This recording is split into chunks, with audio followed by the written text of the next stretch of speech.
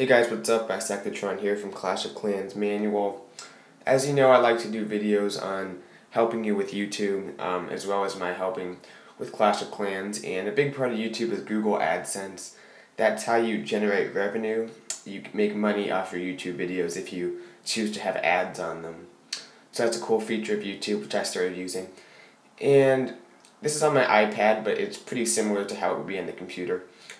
And today I'm addressing the problem of it shows estimated earnings are zero, even though you have everything you would need to at least have made some money.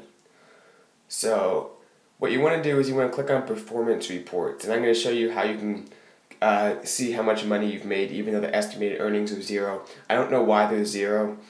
Uh, I, I think it's something with YouTube where it doesn't update your estimated earnings if you have a YouTube account that you're using for this.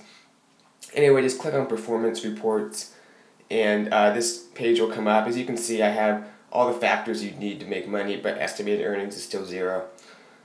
That's okay though, we can solve that. Um, so click on products after that. It probably will be on that left bar on your screen like mine is, but it also could be somewhere else if you're on a different computer or something, but you'll find it. So click on products and after you click on products, you want to go ahead and scroll to the bottom of the screen where you'll see this little table.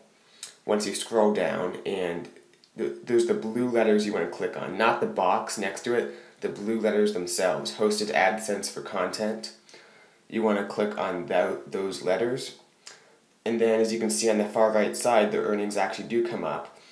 So the estimated earnings is still zero, but the total earnings, it actually has how much you've made which is nice because this way I can see how much I've made so I don't just blindly get some report at the end of the month that saying this is what you've made. So anyway, you can also click on the time zone at the top in that box on the right side to change what days you want to be shown. And um, yeah, is, I hope this helps guys. This is just how to, and there's also that table at the bottom that shows up if you want to see a table, not a graph.